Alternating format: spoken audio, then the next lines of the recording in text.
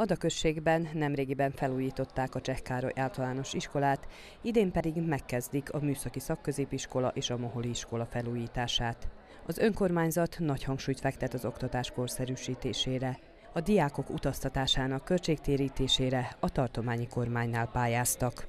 Az utazó diákok szüleinek is nagyon sokat jelent ez a támogatás, és így közösen tartományi kormány és az önkormányzat nagyobb mértékben tudja segíteni a, a, a családok költségvetéseit és a költségek csökkentéseit az utaztatásnál.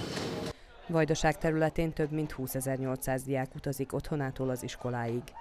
Topolyán kifejezetten sok ingázó tanuló van, ugyanis a község 20 településből áll.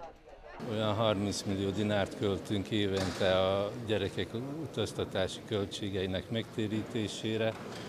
Ez a Topolyán kívüli diákoknak, amiről most van szó, ezen 17 millió dinár, ebből olyan 3,5 millió dinárt kaptunk a tartománytól, és nekünk is nagyon sokat jelent, meg a szülőknek is.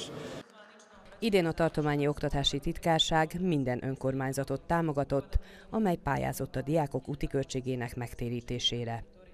Fontos, hogy segítsük az oktatást, minél inkább a reformok mellett a lehetőségét is adjuk az oktatásnak, hogy egyenrangúan részt vegyenek a diákjaink ebben a rendszerben, ne legyen akadálya annak, hogy egy minőségi nevelői oktatási munka folyjon, és hogy ebben részt vegyenek mindazok, akik szeretnének részt venni.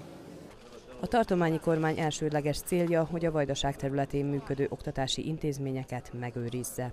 Mi smo se trudili i uspeli smo da očuvamo najveći broj malih škola, malih po broju učenika, a velikih za lokalne sredine, za sela u Vojvodini posebno i male opštine, jer pokrijska vlada nije dozvolila, niti će dozvoliti da se gase škole, a tartományi kormány elnöke biztosította támogatásáról azokat a projekteket, amelyekkel az önkormányzatok és az oktatási intézmények az iskolák felújításait és korszerűsítését célozzák meg.